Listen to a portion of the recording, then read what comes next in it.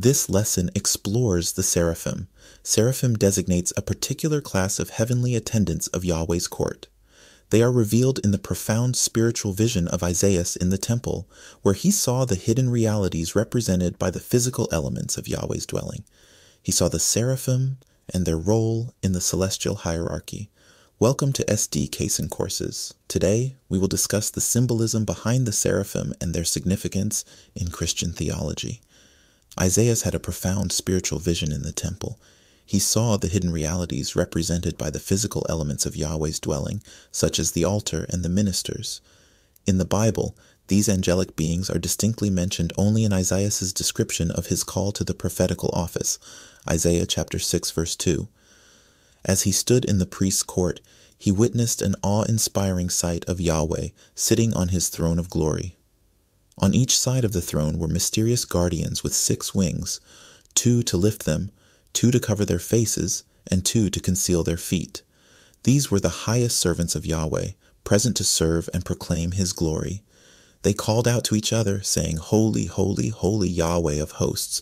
All the earth is full of his glory. These were called seraphim, and one flew towards Isaiah with a live coal from the altar.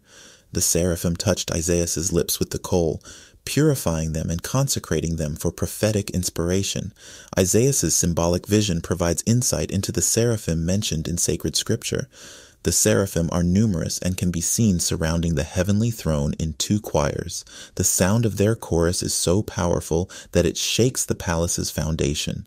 Despite being depicted with human-like features such as faces, hands, and feet, Isaiah chapter 6 verses 2 and 6, they are spiritual beings that align with their name rather than just symbolic representations, as some Protestant scholars suggest. The seraphim and cherubim are two different types of heavenly beings. The cherubim veil God and show his glory in the earthly sanctuary, while the seraphim minister in the heavenly court. The name seraphim distinguishes them from the cherubim. However, its precise meaning is not clear from the single scriptural passage mentioning them. Some scholars believe the name comes from the Hebrew verb meaning to consume with fire, which is in accordance with Isaiah chapter 6 verse 6, where a seraph carries celestial fire to purify the prophet's lips. Others believe it comes from the Hebrew noun meaning a fiery and flying serpent. Still, there is no trace of such a form in Isaiah's description of the seraphim. The seraphim are mentioned at least twice in the book of Enoch. Christian theology considers them to hold the highest rank in the celestial hierarchy, along with cherubim and thrones.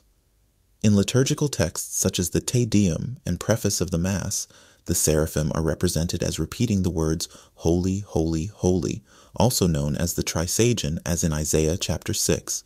In conclusion, Isaiah's vision in the temple provides valuable insights into the seraphim and their role in the heavenly court. These celestial beings are the highest servants of Yahweh. They are depicted with awe-inspiring features such as six wings and fiery purification abilities. Despite being different from the cherubim, they are still considered to hold the highest rank in the celestial hierarchy.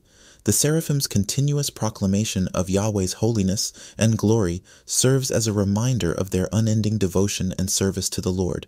And that was Seraphim in a nutshell. Thanks for learning with us. Until next time, may God bless you forever.